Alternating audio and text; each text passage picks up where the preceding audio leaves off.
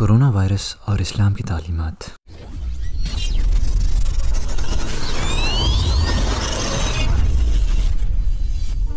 China کے president شی نے ایک سٹیٹمنٹ دیا پچھلے سال کہ کوئی طاقت چائنا کے لوگوں کو اور چائنا کو آگے بڑھنے سے روک نہیں سکتی۔ اور آج ہم دیکھ سکتے ہیں کہ چائنا کا کیا حال ہے۔ چائنا اصل میں ایک گاڈس معاشرہ ہے جہاں پر ایتھیزم رائج ہے۔ لوگ اپنے آپ کو اور اپنی ٹیکنالوجی کو سب کچھ سمجھتے ہیں، لیکن یہ ایسا دور ہے جس میں ٹیکنالوجی اپنے عروج پہ ہے اور اس کے باوجود آج پوری دنیا جیسے ٹھہر سی گئی ہے۔ بزنسز کو مالی نقصان تو ہو ہی رہا ہے، ساتھ ہی ساتھ ٹورزم انڈسٹری کو بھی بہت نقصان ہوا ہے۔ ایئرپورٹس خالی پڑے ہیں۔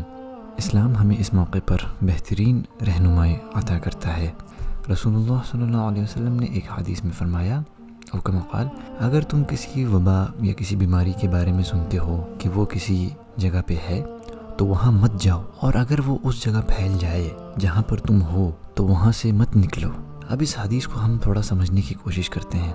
جہاں پر بیماری پھیلی ہے، وہاں نہ جانا تو سب کے سمجھ میں آتا ہے۔ لیکن کچھ لوگ یہ ڈاؤٹ کرتے ہیں کہ جہاں پر بیماری پھیلی ہے، وہاں سے اپنی جان کی حفاظت کرنے کے لیے کیوں نہ نکلا جائے؟ اگر ہم صحیح سلامت ہیں تو۔ اس کا جواب ہمیں ماضی میں پھیلے ہوئے وباؤں سے ملتا ہے کہ اس میں کروڑوں لوگوں کی موت کا سب سے اہم سبب یہ تھا کہ جو بیماری والی جگہ میں لوگ تھے، وہ اس جگہ سے بھاگ کر دوسری جگہ پر گئے۔ اپنی جان بچانے کے لیے۔ اور اس جگہ میں بیماری کے اثرات نہیں تھے، لیکن اس شخص کے آنے سے بیماری دوسرے لوگوں تک پہنچ گئی۔ اسی طرح یہ سلسلہ بڑھتا گیا۔ اب کورونا وائرس کا یہ حال دیکھ لیں۔ ایک چائنا کے ہوبئی پروونس سے یہ نکلا اور پوری دنیا میں پھیل گیا۔ آخر اس کی اصل وجہ کیا تھی؟ اس کی اصل وجہ یہی تھی کہ وہاں سے لوگوں نے پلائن کرنا شروع کیا اور دوسری جگہ بیماری پھیل گئی۔ کورونا وائرس کا کیس یہ ہے کہ اگر انسان کے بدن میں وائرس ہے تو بھی اس کے اثرات دو ہفتے بعد ظاہر ہوتے ہیں۔ اس دوران کوئی شخص یہ سوچ سکتا ہے کہ وہ تو صحت مند ہے، لیکن ضروری نہیں ہے کہ ایسا ہو۔ چائنا میں ایک ایجپٹ کی لڑکی نے وہاں سے نکلنے سے منع کر دیا اور اسلامی تعلیمات پر عمل کیا۔ اگر اسلامی تعلیمات پر عمل کیا جائے تو اس جیسی بیماریوں کو بہت ہی جلدی کنٹرول کیا جا سکتا ہے۔ عائشہ رضی اللہ عنہ نے رسول اللہ صلی اللہ علیہ وسلم سے تعاون کے بارے میں پوچھا، آپ نے فرمایا قال کہ یہ اللہ کی سزا ہے، وہ جسے چاہے اس پر بھیجتا ہے۔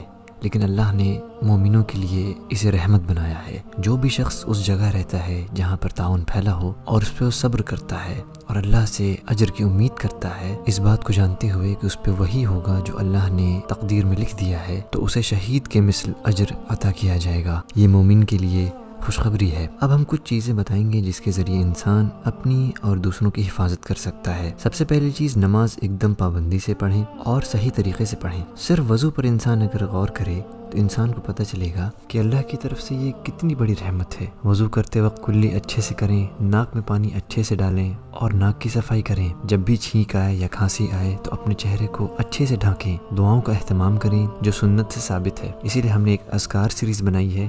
کچھ ویڈیوز ریلیز ہوئے ہیں اور انشاءاللہ کچھ ویڈیوز اور ریلیز ہوں گے۔ آپ آئی بٹن دبا کے ان ویڈیوز کو دیکھ سکتے ہیں۔ فی الحال دو اہم دعائیں پن کمنٹ میں ڈال دی جائیں گی۔ آخر میں اس حدیث کے ساتھ اس ویڈیو کو ختم کرتے ہیں۔ رسول اللہ صلی اللہ علیہ وسلم نے فرمایا، مہاجرین کی جماعت پانچ باتیں ہیں۔ جب تم ان میں مبتلا ہو جاؤ گے اور میں اللہ کی پناہ چاہتا ہوں، اس بات سے کہ تم اس میں مبتلا ہو۔ پہلی یہ کہ جب کسی قوم میں اعلانیہ فحش یعنی زناکاری، فجور، فسق ہونے لگ جائے، تو ان میں تعاون اور ایسی بیماریاں پھوٹ پڑتی ہیں جو ان سے پہلے کے لوگوں میں نہ تھیں۔ دوسری یہ کہ جب لوگ ناپ تول میں کمی کرنے لگ جاتے ہیں تو وہ قحط، معاشی تنگی اور اپنے حکمرانوں کی زیادتی کا شکار ہو جاتے ہیں۔ تیسری یہ کہ جب لوگ اپنے مالوں کی زکوٰۃ ادا نہیں کرتے ہیں، تو اللہ تعالیٰ آسمان سے بارش کو روک دیتا ہے۔ اور اگر زمین پر جانور نہ ہوتے، تو آسمان سے پانی کا ایک قطرہ بھی نہ گرتا۔ چوتھی یہ کہ جب لوگ اللہ اور اس کے رسول کے عہد اور پیمان کو توڑ دیتے ہیں، تو اللہ تعالیٰ ان پر ان کے علاوہ لوگوں میں سے کسی دشمن کو مسلط کر دیتا ہے۔